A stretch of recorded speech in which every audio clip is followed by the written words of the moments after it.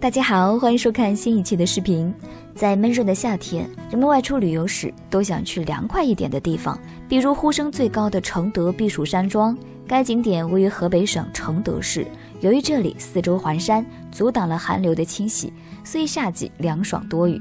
在炎热的夏天，我们都能选择相对凉快的地方出去走走。寒冷的冬天自然也阻挡不了我们走出去的步伐。而现在，国内冬季最火爆的城市当然是温暖的三亚了。三亚这个美丽的地方，不仅吸引了很多国内的游客，国外的游客也都慕名而来。它位于海南岛最南端，与南海隔海相望。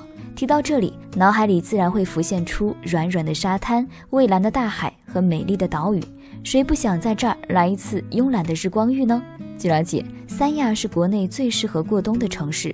这里是热带海洋性季风气候，年平均气温为二十五度左右，十分暖和，适合过冬，所以吸引了很多东北的游客。有很多任性的朋友甚至直接在这里定居了，在这儿会听到很多字正腔圆的东北话。毕竟有二十万的东北人在这里生活。这里有很多旅游景点，最出名的莫过于凤凰岭了。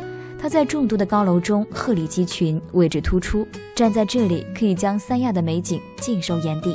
望着眼下那璀璨的霓虹、静谧的海湾，都是一种美的享受。这里还有一处十分浪漫的景点——天涯海角，光听名字就已经很浪漫了。前面是海，后面是山，沙滩上还有一对高达十米的石头，它们相依相偎，上面分别刻有“天涯海角”字样，吸引了很多情侣到此一游。但是这里唯一的不足就是花费太高，旅游消费位居全国第一。即使这样，竟然也丝毫没有使它的地位动摇。三亚还有很多有趣的东西等我们去挖掘，很多美景等待我们去欣赏。小伙伴们想跟谁来这个温暖的地方旅行呢？